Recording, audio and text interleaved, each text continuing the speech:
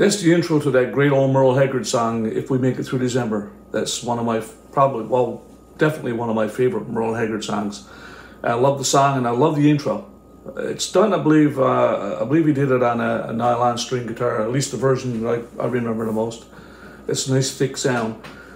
Of course, uh, it can be played different ways, the same notes on the guitar. I'm not sure if they played it that way, which I just did, or they played it this way.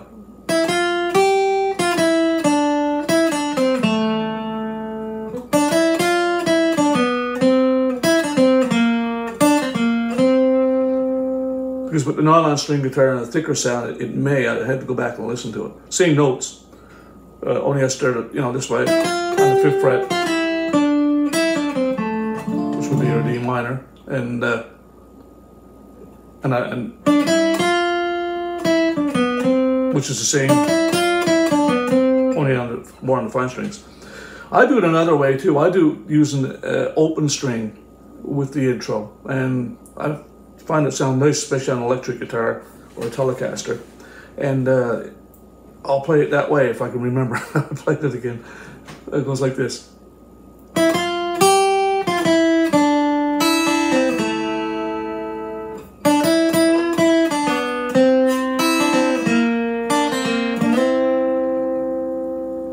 Use the more open strings. I started here on the fifth fret, second string. Sometimes I'll bend it instead of sometimes I'll bend it which is you know it's not accurate but sometimes I'll play it that way but I'll play it this way just to show you uh, the, how I do it with the open string because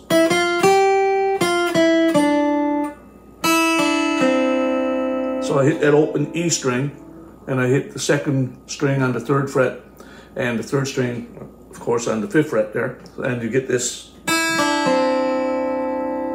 And I slide in to the G string on the second fret. Sometimes I'll just slide into it. Other times I'll, I'll slide but hit the note. So first of it goes like this again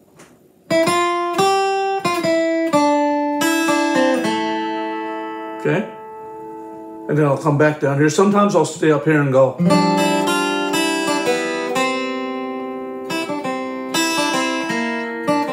sometimes I'll do that, but uh, more times than enough when I'm playing it as just uh, lead lines, I'll do the second part like this. Same thing, same same lick there. Like that.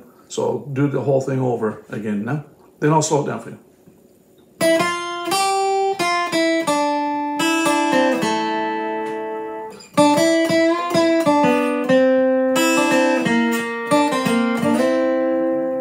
Okay, so that's how I do it. So let's slow it down. I'm starting on the fifth fret there. So, and we'll we'll do that instead of the bend string again, like I did on, on the second time I showed you there. Now that lick. Okay.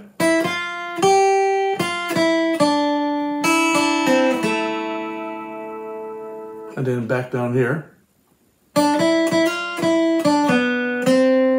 In that same position. Instead of here, you're going to land here this time mm. on the third fret with the third string.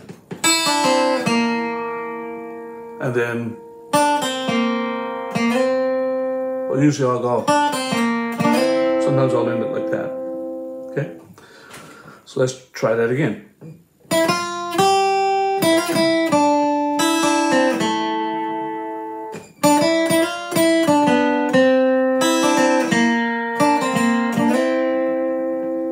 So that's another cool way of doing it. Hope you enjoy that. And I'll do it one more time before I leave and I'll just slow it down really slow here, okay?